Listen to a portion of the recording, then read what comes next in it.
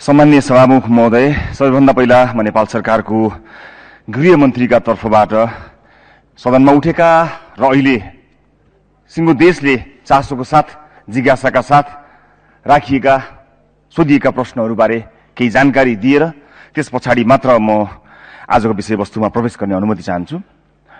गैराती कास्की म्याग्दी र चितवन जिल्लामा पहिरोका कारण भएको धनजनको क्षतिबाट सबैभन्दा पहिला अत्यन्त मर्माहित भएको छु। म यसमा ज्यान गुमाउनेहरूप्रति श्रद्धाञ्जली अर्पण गर्न चाहन्छु र शोक सन्तप्त परिवारप्रति गहिरो संवेदना प्रकट गर्न चाहन्छु र घाइतेहरूको शीघ्र उपचारको कामना गर्दछु। पहिरोले कास्कीमा मात्र एघारजना म्याग्दीमा दुईजना र चितवनमा एकजना बागलुङ मकवानपुर गरी बागलुङमा एकजना मकवानपुर एक गरी गएको चौबिस घण्टामा सत्रजनाले ज्यान गुमाउनु भएको दुःखद कुरा सम्मानित सदनलाई खबर गर्न चाहन्छु। वीरगंजबाट काठमाडौँ आउँदै गरेको बसमा यात्रारत चौबिसजना र काठमाडौँबाट गौरतर्फ जाँदै गरेको बसमा यात्रारत सत्ताइसजना यात्रुहरू चितवनको सिमलटारीमा बससहित नारायणी नदीमा हराएको जानकारी पाउने बित्तिकै खोजी र उद्धारका लागि पाँच सय जना भन्दा बढी सुरक्षाकर्मीहरू उद्धारका लागि तत्काल खटाइएको र आफै बिहानदेखि नै यसमा लागि परेको कुरा पनि सम्मानित सदनलाई जानकारी गराउन चाहन्छु जसमध्ये अठाइस जना गोताखोर परिचालन गरिएको जानकारी गराउन चाहन्छु।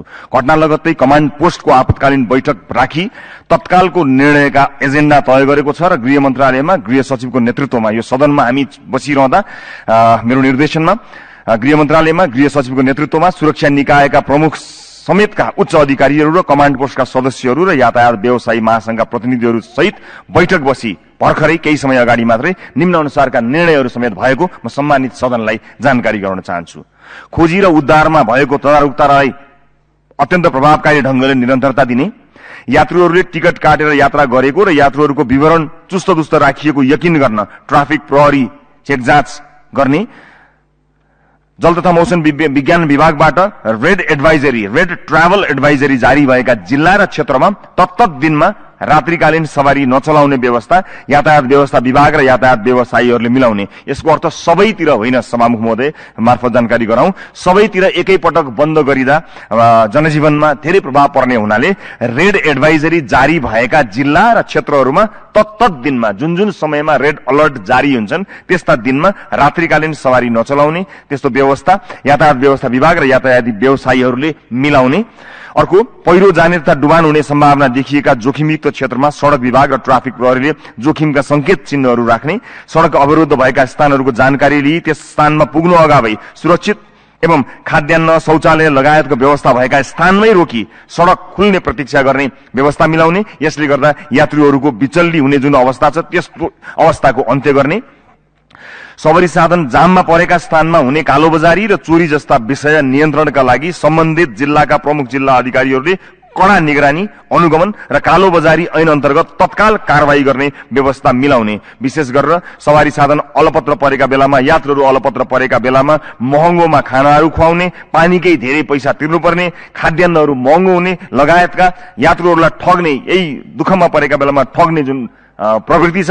त्यसलाई तत्काल अन्त्य गर्ने र त्यो र कालोबजारी ऐन अन्तर्गत तत्काल कारवाही गर्ने व्यवस्थाको निर्देशन दिइसकिएको छ। कान्ति लोकपथ लगायतका ठूला सवारी साधन चल्न अनुमति नदिइएका अन्य मार्गहरूमा पटक पटक पटकै काटी ठूला बस, ट्रक लगायतका सवारी साधन दिन, चल्न दिने व्यवस्था तत्काल बंद गर्ने निर्णयहरूबारे म यहाँ सम्मानित सदनलाई जानकारी गराउन चाहन्छु र लामो समयसम्मदेखि गृह प्रशासनले गरेको तदारुकता, छलफल, राजनीतिक दलहरू समेतसँग छलफल, विभिन्न सरकारवालाहरूसँग गरेको छलफलका कारण भनिए अनुसार पूर्वानुमान गरिए अनुसार यसपटकको मनसुनको अवस्था अलिकति भयावह हुने भनिए अनुसार जे जति जोखिम भएको छ जोखिमका बारेमा त हामीलाई थाहा छ तर त्यो पूर्व तयारीले धेरै जोखिमलाई जोगाउनको निमित्त पनि मानिसको धनमाल जोगाउनको निमित्त ज्यान जोगाउनको निमित्त त्यो तयारीले काहीँ न काहीँ मद्दत पुगेको कुरा म सम्मानित सदनलाई जानकारी गराउन चाहन्छु। सम्पूर्ण जानकारी प्राप्त भएन भन्ने केही कुराहरू आएको हुनाले म थप जानकारी सम्मानित सदनलाई उपलब्ध गराउन चाहन्छु। अठतिस जिल्लाहरू प्रभावित छन्। त्यसमा बाढीबाट भएको जानकारी गराउँदा मकवानपुर एक सिराहा एक दुईजनाको बाढीबाट मृत्यु भएको छ। पहिरोमा चौधजना जसमा कास्कीका एघार म्याग्दी दुई र चितवन एकका हुनुहुन्छ। त्यसै गरी घाइते पहिरोबाट घाइते तीनजना हुनुहुन्छ कास्कीका तीनजना हुनुहुन्छ। अविरल वर्षाबाट एकजना बागलुङका एकजनाको मृत्यु भएको छ यो चौबिस घण्टामा सत्रजनाको दुःखद निधन भएको छ घाइते तीनजना हुनुहुन्छ। त्यसै गरी एकासी तिन सत्ताइस बेलुकादेखि अहिले बिहान दस बजेसम्मको मनसुनजन्य घटनाबाट भएको क्षतिको विवरण पनि सम्मानित सदनलाई प्रस्तुत गर्न चाहन्छु। प्रभावित जिल्लाहरू एक्काइस बाढीबाट सिराहाका एक पहिरोबाट चौध। अघि मैले जानकारी गराइहालेँ।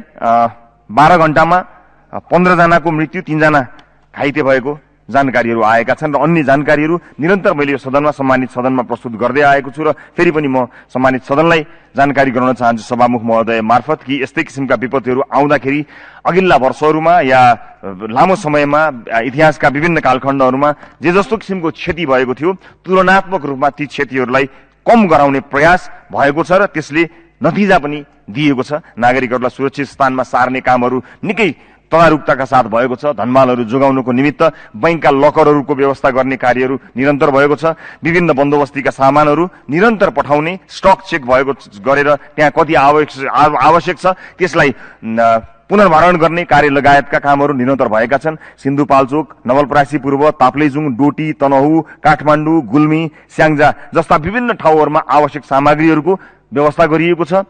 आज बिहानसम्म पनि निरन्तर प्रत्येक दिन दिनको तीन पटकसम्म निरन्तर बैठक गरी सम्बन्धित जिल्लाहरूमा जिल्ला प्रशासन कार्यालयहरू मार्फत छलफल गरी आवश्यक सामग्रीको जो हो र सावधानीका लागि निरन्तर कमान्ड पोस्टले काम गरिरहेको जानकारी म सम्मानित सदनलाई गराउन चाहन्छु।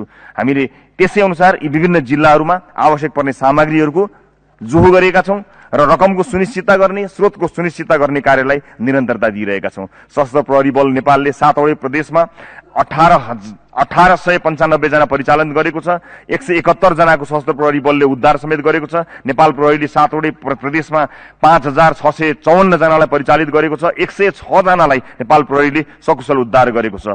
र मनसुन सुरु भए यता विपद व्यवस्थापन कोषबाट विभिन्न जिल्लाहरूमा आवश्यक रकमहरू पठाइएको छ।